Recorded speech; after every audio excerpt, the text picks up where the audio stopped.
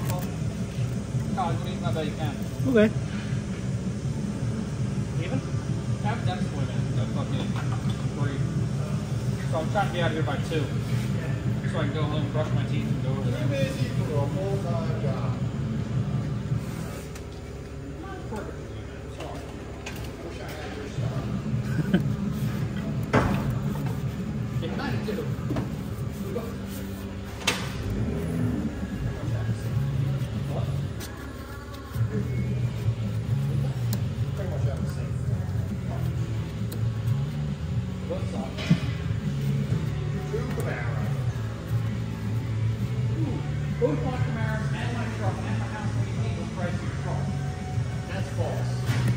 And Just because you paid for your house, paid for my car. mean it's fucking worth it. two BMWs. Don't even think that.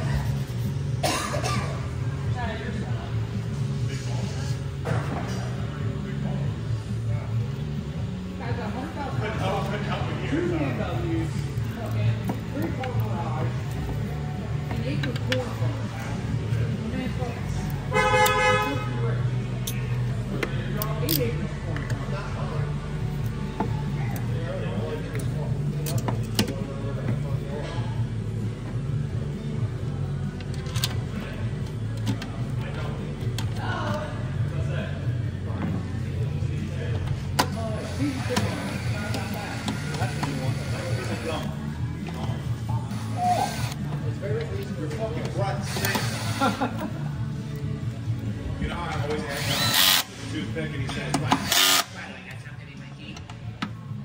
He was explaining how he has to go home and brush his teeth before he goes to the thing.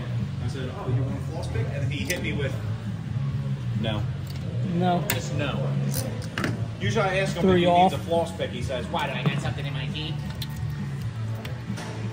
No, I'm just, uh, you know, you, you ate lunch, maybe you want to floss then.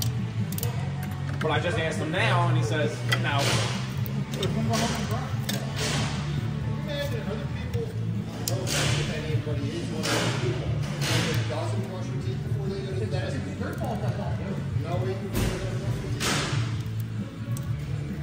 Like, I and someone else is going to do it for me.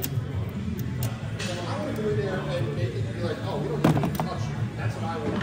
Like topping your tires off before you go to the fucking mechanic. Yeah, but I don't like that because then I don't